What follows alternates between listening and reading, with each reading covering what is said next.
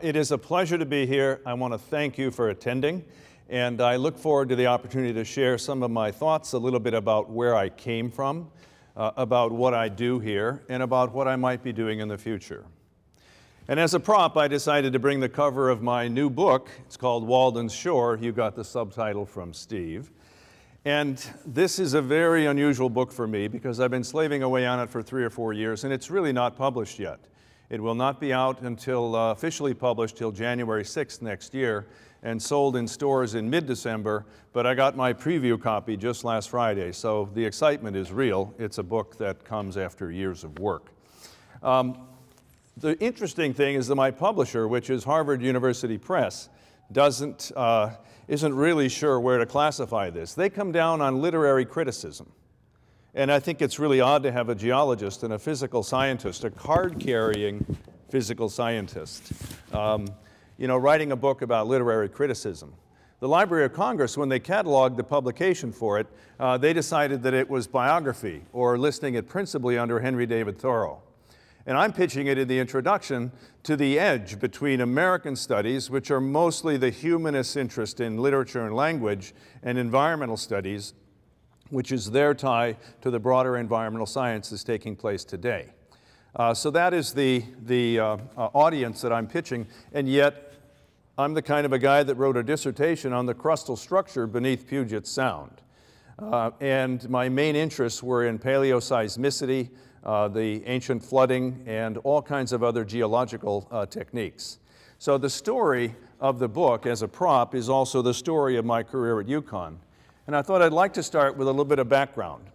Now, the background starts in the baby boom when I'm born in the upper Midwest in 1951 to a sodbuster Norwegian farmer's daughter and a uh, very gentle Swedish, uh, also farmer's son, uh, one generation removed.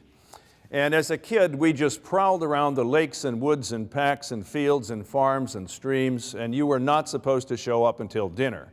And so I had one of those uh, wonderful opportunities to be, to be uh, out and about in outdoor nature, unsupervised the way children are supervised today, and in fact, the way we were required to raise our own children here in Storrs. Uh, the other thing that I noticed is that I became a voracious reader somewhere in, the, when I left the comic book superhero stage, I went right into the Tarzan books of Edgar Rice Burroughs and I read every single one of them, not knowing quite uh, what was to be involved with them later. And I also fell very much into Jules Verne's adventure stories, because they featured scientists. And The Mysterious Island was one that I really, really liked and read several times, and I don't know how old I was. And then, of course, I got into the Jack London books, which helped explain why I ended up in Alaska for so many years. So that brought me to uh, um, my career origin uh, when I can trace it to a moment. I'm living in Illinois, and I'm on a school field trip, and we're going to the Field Museum of Natural History in Chicago. It's just a spectacular vintage style, uh, you know, philanthropic natural history museum. And I walk in there in the entry gate, they are selling crushed dinosaur bone.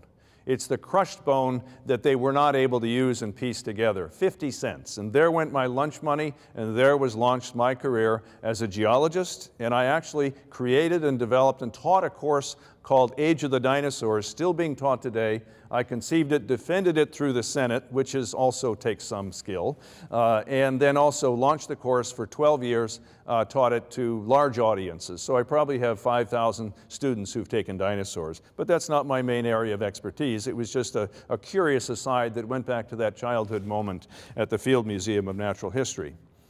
But I really want to talk about some of the career left turns, because if I have a message for anybody who's going to, uh, uh, a student, they, they, they get me, that, that you really don't know what's going to happen. And this is certainly the case in my career, why I'm writing a piece on literary criticism. And I'm going to start with the first one was actually a near-death experience. I was one of those uh, impetuous and daring 19-year-olds uh, uh, that just refused to follow rules. And um, I won't go into that long story, but the end result of it was my psychological recovery was picking up a copy of Henry David Thoreau's Walden, reading it carefully, as a 19 year old might do, and then basically doing my best to live out by myself for a while, misinterpreting what his main endeavor really was. But that was one of the left turns, meaning that I'm still alive. The next one, and this is the oldest story in the books, I met a woman. Okay? And there went the life as a bachelor, uh, dedicated, die-hard, bet-making bachelor, okay, who was also an exploration geologist in Alaska, and that is indeed where I met her, all right?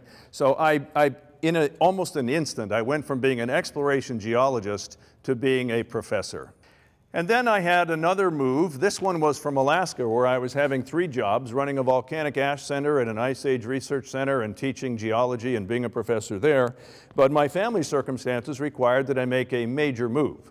So we sold a house, uh, left the birthright of two children, and moved to New England, which was the only place that met my job criteria of being within an hour of the ocean, not in a city, all right, and north of the glacial border.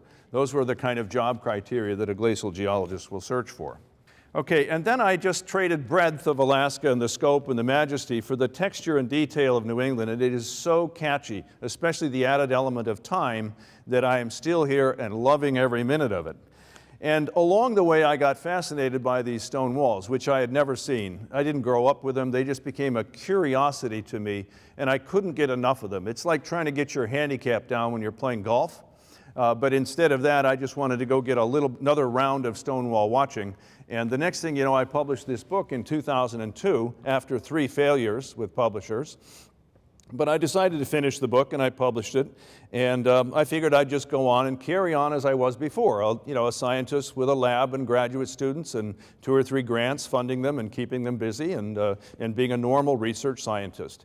But then the book started selling and it sort of surprised me. And then it was on the list of the independent booksellers. It just sold thousands of copies in the next year or two. And uh, believe it or not, I was, uh, uh, uh it won the Connecticut Book Award. And I was absolutely shocked because that's the, the, the, award for nonfiction. And the year before, it was Michael Pollan for Botany of Desire, and the year after that, it was Gus Speth for uh, Red Sky at Morning, which was his view on climate change after serving 20 years in the climate change business, uh, ending at the Yale School of Forestry and Environmental Studies. So I was really, really uh, taken by that. And the next thing you know, I was swept up by it, giving talks, doing this and that, and I never really got back to number crunching, data driven uh, field science. Instead, I became an essayist, then I became a columnist, and uh, one thing led to another, and I'm still at it. But in 2003, I decided to take that interest that people felt in the, um, the students, that is, to take that interest that I thought they felt in, in American literature and American history and my developing interest in it. And through the Provost office, I won a competition to create a course called Geoscience Through American Studies. And basically what it is, is every kid coming out of high school has a good uh, English, uh, especially the ones coming to the University of Connecticut. They have a pretty good course in American English. They have a pretty good course in American history, but they have almost nothing in terms of geoscience. They don't know how the earth works. So what I tried to do is capitalize on that interest and begin teaching a course for the Honors Core. It is now the oldest course created specifically for the honors uh, students here at UConn that is in their core curriculum, which is now required. Having done that, the next year, uh, a, a, guy named Robert Gross shows up here, and I find out he's a history professor trying to get me to develop a, a, a theme for the first set of courses for the Honors Core. And indeed, we did work together. We did produce one. It was called uh, uh, uh, The Environment and Nature. And the next thing you know, we were teaching a course on Walden uh, and the American landscape with the art historian uh, and, and photographer Janet Pritchard. So the three of us began teaching this course along with several others uh, teaching their courses, and thus the Honors Core curriculum was born. And when you do that, you have to keep up with your students. You have to read very, very carefully because they're reading every more carefully. So I actually read Walden for the first time very, very carefully during those years, and I just fell for it. I was completely smitten by things that I missed when I was a child and when I was a 19-year-old and when I was even in my mid-20s when I, or my, my mid-50s when I read it. So what happened was the intellectual gravity of Walden Pond just kept drawing me back. And so I went, I published a book on the kind of lake that uh, Walden is. They're kettle lakes. And when I published that book, uh, my impression was to survey the whole galaxy of lakes from Nantucket Island all the way out to Great, Great Falls, Montana. And yet, much of my thought was directed to Walden and Walden Pond is a perfectly ordinary Kettle Lake, but not an ordinary place, given its intellectual gravity. And so one thing led to another. The next thing you know, I was working on a book. The next thing you know, my agent had a contract and I had a new publisher and uh, I was under deadline to write and I wrote like a fiend and I eventually finished this thing. And so here's the book just out last week. What I'd like to do now is now that you know how this book came about and how it ties in with my uh, career here at UConn, I thought I would close with a quote from Thoreau in one of his uh, chapters of Walden called uh, Housewarming. And the scenario is that he's just about froze to death, and he staggered back and he made it into his, uh, into his, uh, into his cabin, which is really a metaphorical cabin. It was actually a tidy little house. And here's what he says When I had been exposed to the rudest blasts a long time, my whole body began to grow torpid.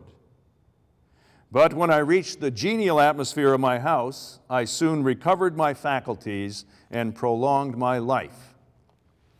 This was a setup in Walden for his veiled discussion of the Ice Age theory of Louis Agassiz the Swiss who came and started graduate science education at Harvard University. And here's a reading out of my book, Beyond Walden, that includes some quotes from Thoreau's Walden that describes a climate change concern they had that we do not have. Finally, Thoreau speculates on a repeat performance of the Ice Age that must inevitably return. Quote, Nor need we trouble ourselves to speculate how the human race may at last be destroyed. It would be easy to cut their threads any time with a little sharper blast from the north. Here, Thoreau's words unambiguously express a common early Victorian fear, not of Armageddon, but of global refrigeration, a quote, chilling men's blood, unquote, a corollary of accepting the Ice Age theory. And of course, as you know, the main issue of our day is also climate change but we have the opposite concern. By comparison, ours is a treat. I'm not going to dismiss the importance of global warming, a phrase I don't even like, because it is a very serious one, but it will come on gradually, and it will require our resourceful adaptation, and it will not cause human extinction. Yet scarcely a century and a half ago, that was the main preoccupation, not just of Henry David Thoreau, but of most of his learned contemporaries as well. So we should be thankful that Earth will continue, we will continue, I will continue teaching, learning, speaking, reading, and being collegial here at UConn. It's an absolutely great place to be for me, and I thank you again for your time and attention.